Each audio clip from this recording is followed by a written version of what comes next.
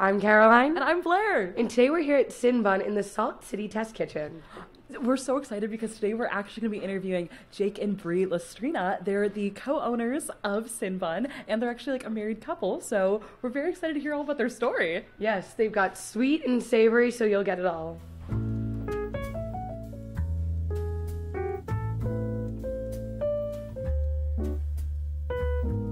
Do you guys mind like introducing yourselves and letting us know just a little bit about your business? Sure. I'm Brie Lastrina. I'm Jake Lastrina. Uh, we're the co-owners of Sinbun.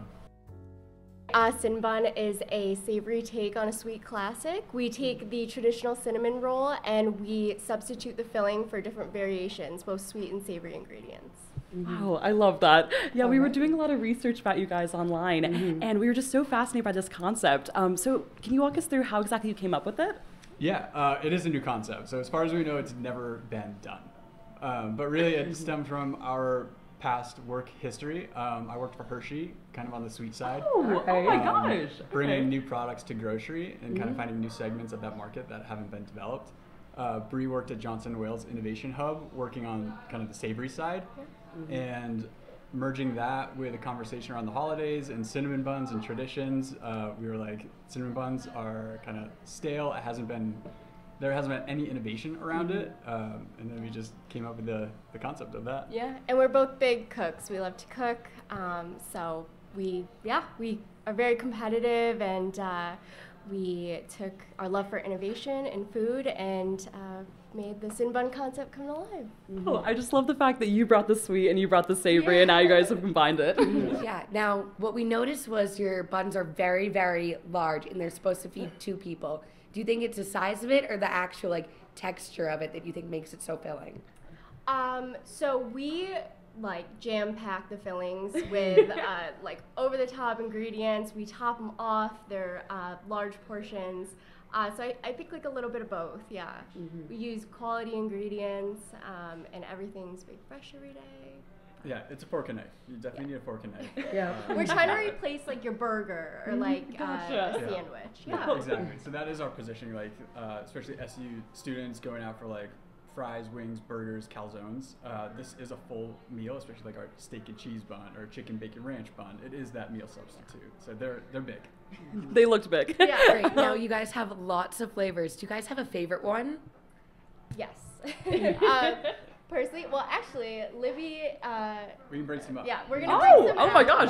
Perfect Uh, timing, some- Caroline. Yeah, absolutely perfect timing. Uh, Um, so my Oh wow! This looks delightful. yeah. So my personal, my newest favorite. I'm so favorite, thrilled. actually on the sweeter side. So we have a build your own bun.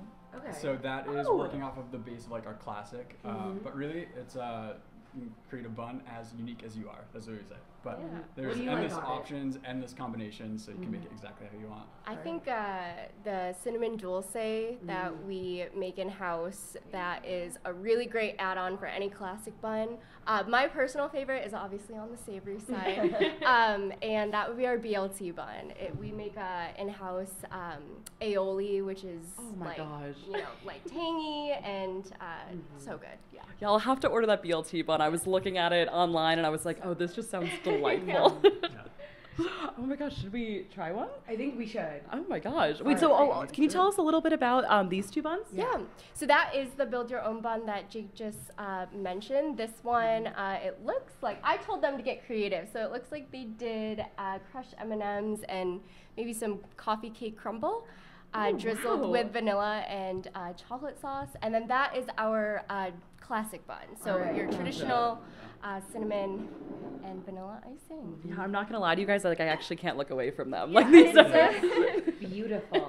They are you. beautiful. On trial and Oh my gosh, Our more buns. savory buns as Wow. well. Yeah.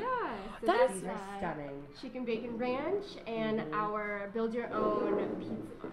Oh wow, that is so smart of you guys to have like the same dough for both sweet and savory. Because then like I feel like it just creates um everyone like knows like you're having you're having a sin bun Right, regardless. right. Yeah. It's the same dough, uh, but the fillings are different. So that's kind of what also separates us from other cinnamon bun companies, uh, they'll typically just stick with one filling, like cinnamon sugar, and then just do toppings. But we're rolling up like cookie dough, uh, chocolate crumble, all different fillings inside as well.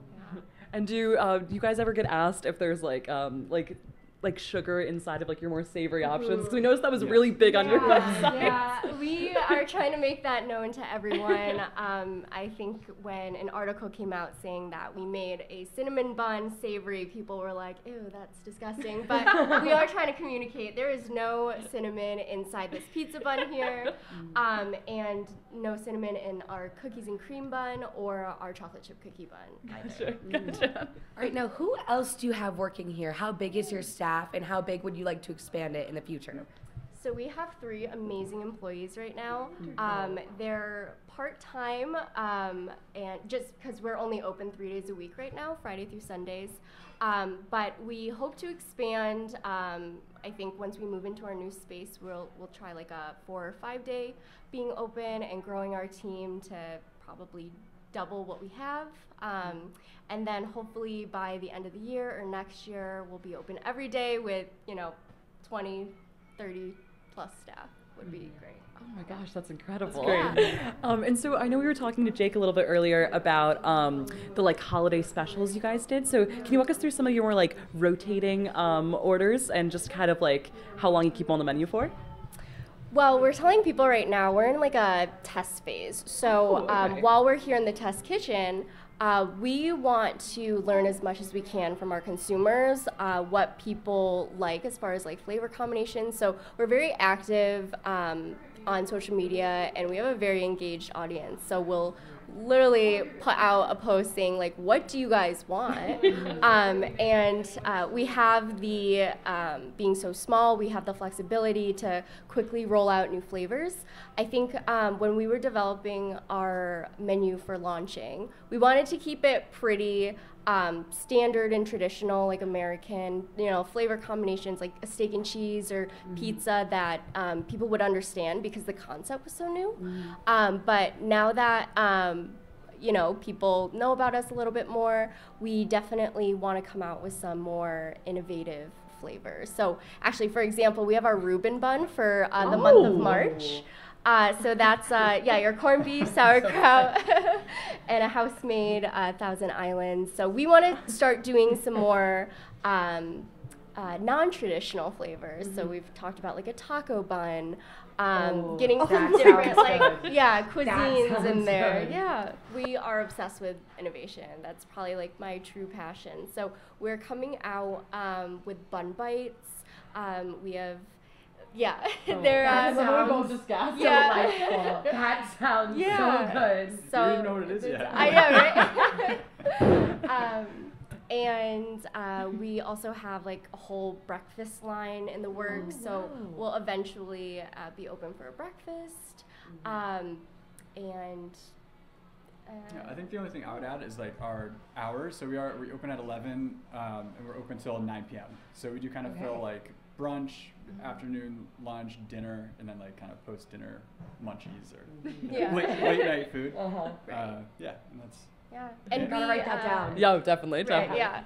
Uh, I think Jake may have already mentioned this, but um, delivery and pre-ordering on our site for pickup is definitely like the preferred method. We do accept walk-ins, um, but you are like chancing uh, us being sold out or like having to wait a little while because we do prioritize Mm. the um, online orders.